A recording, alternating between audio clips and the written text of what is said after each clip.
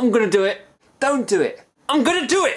Do what? What does it look like? I'm gonna do it. No, don't. You have everything to live for. There's no going back after this. No, don't. I'm gonna start cutting things sideways like this.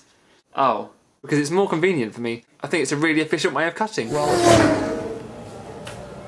Actually, what happened was they had a suicide crisis line on this bridge, Coronado Bridge. And they had a 1 800 number that you could call. So they paid for the signs, but they didn't have enough operators. So you'd be on the bridge, ready to jump. You'd you know, make one last reach out to humankind. You'd dial the number, and they'd put you on hold. So they actually, and they had a teenage one, they had an adult one. So I had a uh, one summer, it only lasted about a week and a half. Uh, I had the job, it was a volunteers actually.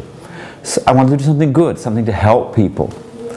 Uh, so there I was, and they give you a cue card that says, you know, different questions to say. Uh, because they say that suicide is a permanent solution to a temporary problem. So they say you try to get people to see beyond their immediate problem. So you, so there I was. I was on the phone, supposed to be with teenagers, but I happened to get an adult, a, a man. I guess he was about 50. And he called in and, you know, he's ready to kill himself. Had it. Goodbye, cruel world. So I went to my little cue card and uh, I said, well, you have your family?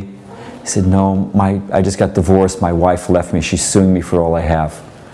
I said, well, what, you, you have your kids. You know, you have to think about your kids. Oh, they don't speak to me. And actually, you know, whatever. Turns out they're not my kids. We did a DNA test.